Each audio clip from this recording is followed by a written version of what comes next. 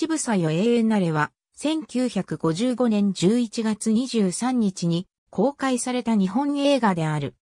歌人、中条文子についての若月明著のルポルタージュ、ちぶさよ永遠なれ、中条文子の歌集、乳房喪失、花の原型を映画化した作品で、制作、配給は日活、監督は田中絹代、主演は月給夢二。映画、ちぶさよ永遠なれの主演女優月給夢二と、葉山良二。札幌にある大学のポプラ並木を望み、二人の子供がトンボを追いかけている。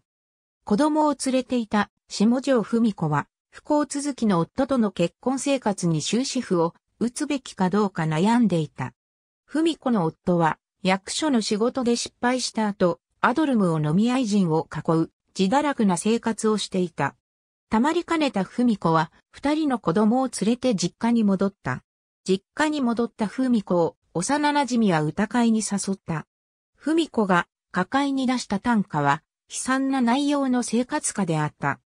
幼馴染の夫、堀田区は、そんな、文子のことを慰める。実家での生活は、家族の思いやりもあって、それなりに安定していたが、夫との離婚手続きが済み、息子は夫に引き取られることになって、文子は最愛の息子と引き裂かれることになってしまった。そのような中で、文子が思いを寄せるようになった、堀田区が既得となり、やがて亡くなった。息子を別夫の家から取り戻し、文子は新規一転、東京で親子での生活を立て直そうと決心した。しかし、文子の体に乳がんの病魔が迫ってきた。文子の乳房が切断された日、東京で文子が読んだ短歌が話題となったことを知らされた。しかし文子は、癌が肺に転移し、自らの命に危機が迫っていることを知る。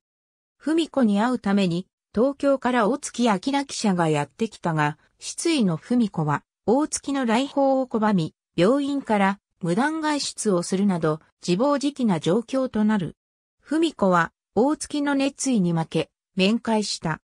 生きて、才能を生かすよう文子に語りかける大月の言葉に、心動く文子であったが、死の影に対する恐怖はどうしようもなかった。大月は、帰郷を延期し、文子の入院する病室に寝泊まりして、看病にあたる。夜空に花火が打ち上がる夜、文子はベッドから大月が休んでいる、ベッド脇に降り、死んでも構わないと言い、抱くように懇願した。ためらいながら、大月は、文子のことを抱く。その翌朝、社から大月は呼び戻される。大月と別れた文子は号泣する。数日後、文子の遺体が病室から運ばれていった。初夏の支笏湖の湖畔、大月は、文子の二人の子供の手を引き、大月が文子の歌の音、子供たちは、ライラックの花束を湖面に投じた。ちぶさよ永遠なれロケ中の月給夢二。日本で初の女性映画監督となったのは、溝口健二監督作品の編集等を務めていた、坂根達子であった。坂根は1936年に初の監督作品を発表している。しかし戦後、坂根は映画監督に復帰することはなかった。坂根に続く日本で二人目の女性監督となったのは、実力ある女優として知られていた、田中絹代であった。戦前期、田中絹代は、島津安次郎、清水博士、五所平之助といった映画監督の下で女優として人気スターへの道を歩み出した。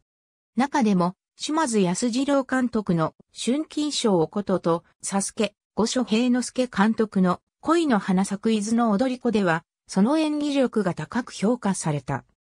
そして戦時中は、木下圭介監督の映画、陸軍で主演女優として出生していく息子を送り出さねばならない母親の思いを演じきり、女優としての高い実力を発揮した。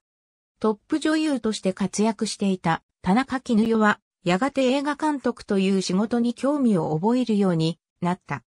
田中絹代がまず女性映画監督に興味を感じたのは、1940年に見たレニリー・フェンシュタールの民族の祭典であったという。戦後になり、田中絹代は溝口健二監督、小津安二郎監督らの作品において、女優として安定した実力を発揮していたが、次第に年齢も高くなっていく中で、トップ女優としての地位を保ち続けていくことに困難を感じ始めてきた。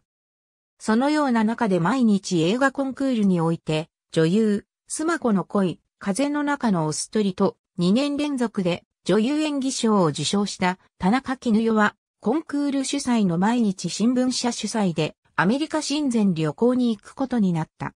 アメリカでの見聞を通じて、田中絹代はくすぶり続けてきた映画監督への思いが確たる願いへと変わっていったと考えられている。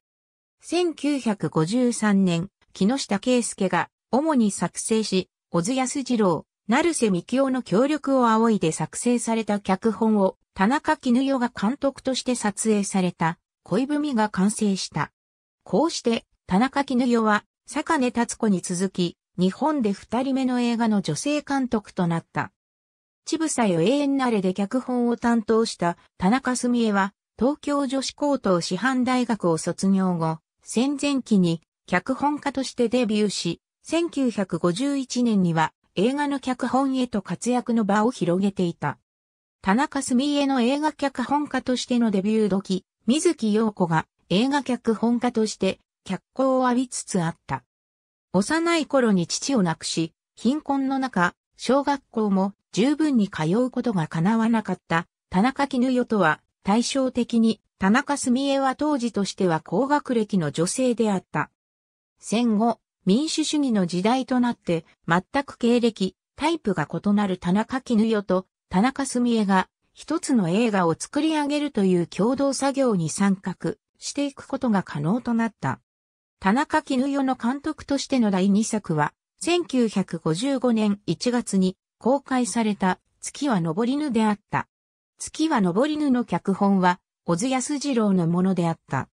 田中絹代の監督作品は、第一作、第二作ともに、木下圭介、成瀬幹夫、小津安二郎という、いわゆる巨匠の大きな影響下において制作された作品であった。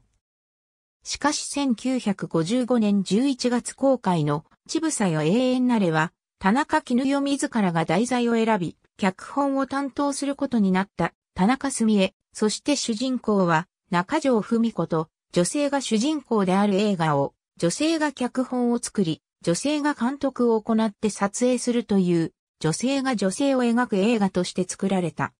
また、同作品は田中絹代が映画監督として自立したことを示す作品ともなった。1954年8月3日、乳がんにより、歌人の中条文子は31歳の生涯を閉じた。中条文子に大きな関心を持った田中絹代は映画化を決意した。田中絹代は戦前から女優として活躍する中で男性によって幸せにも不幸にもなってしまう女性を演じ続けていく中で一種の男性不信が身についていった。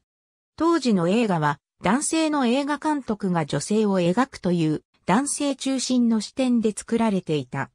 田中絹代は女の立場から女を描いてみたいと語っており、自分のために生きる女性像を映画の中で作り上げていくことを目指した。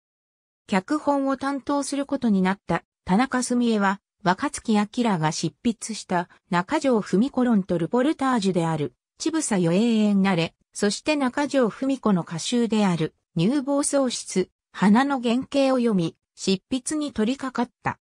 当初、田中澄江は中条文子の怒り、嘆き、憎しみをむき出しにするかのような短歌に反発を感じたが、読み進めていくうちに、日本的な結婚のあり方の問題が見られることに気づいた。